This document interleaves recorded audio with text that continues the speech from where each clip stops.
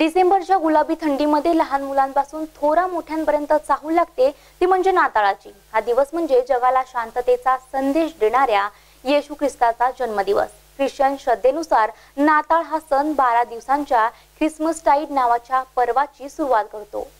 नाताळ हा सण म्हणजे ख्रिस्ती धर्मियांसाठी आनंदाची पर्वणी जणू. या दिवशी लोक आपल्या घरांची रंगीबेरंगी आकर्षक रोषणाईने सजावट करतात. नाताळ किंवा ख्रिसमस हा ख्रिश्चन धर्मियांचा एक महत्त्वपूर्ण सण आहे.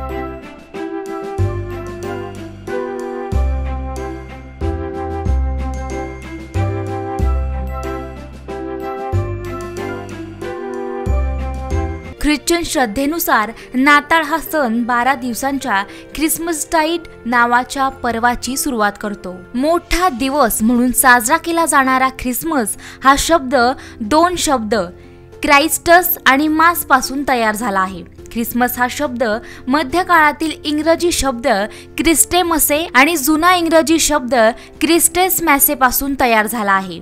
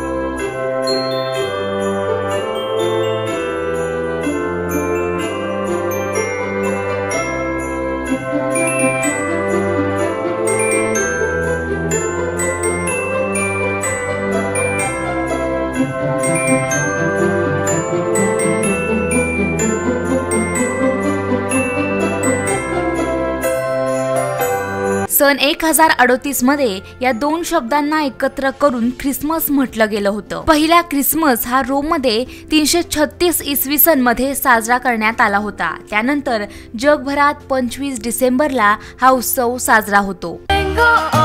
Way. Oh, one horse open sleigh. Dashing through the snow in a one horse open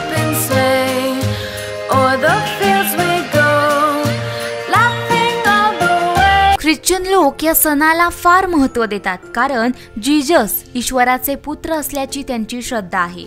नाताळ हा सण आनंद उत्सवाचा सण आहे. ख्रिसमसचा शब्दशः अर्थ आहे क्राइस्टस मास अर्थात येशूच्या जन्मानिमित्त करण्यात येणारी सामूहिक प्रार्थना. आजच्या दिवशी विविध प्रकारचे चविष्ट असे पदार्थ बनवले जातात. नाताळच्या दिवशी नाताळ वृक्ष म्हणजेच ख्रिसमस ट्री उभारली जाते. ख्रिसमस ट्री ही सूचीपर्णी वृक्षापासून बनवली जाते आणि तिला अतिशय सुंदर अशी सजावट देखील केली जाते. या दिवशी लोक एकमेकांना भेटवस्तू फुले ग्रीटिंग्स म्हणजे शुभेच्छा पत्र देऊन आनंद साजरा करतात. नाताळच्या दिवशी रस्ते घरे दुकाने मोठमोठे मॉल्स हे सुंदर रोषणाईने आणि आकर्षक सजावटीने सजवले जातात. नाताळच्या मध्यरात्री सांताक्लॉज येऊन लहान मुलांना भेटवस्तू देऊन जातो असा समज आहे. असा हा सांताक्लॉज लहान मुलांसाठी भरपूर भेटवस्तू भरलेली एक मोठी पिशवी सोबत घेऊन येतो असं समजलं जातं. तर कोण आहे हा सांताक्लॉज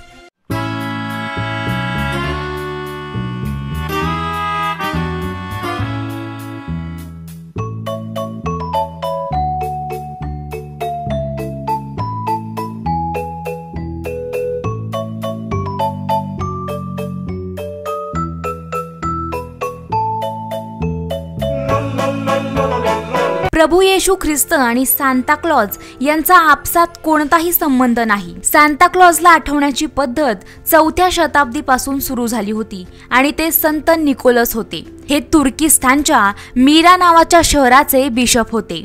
सांताक्लॉज किंवा संत निकोलस हे नाताळ सणाचं प्रमुख वैशिष्ट्य होय. सांताक्लॉज ही एक काल्पनिक व्यक्तिरेखा असून त्याला मराठीत नाताळ बाबा देखील म्हणतात. पश्चिमात्य ख्रिश्चन संस्कृतीत मानले जाते की चांगली वर्तणूक असणाऱ्या लहान मुलांना नाताळच्या आदल्या रात्री सांताक्लॉज भेटवस्तू देऊन जातो.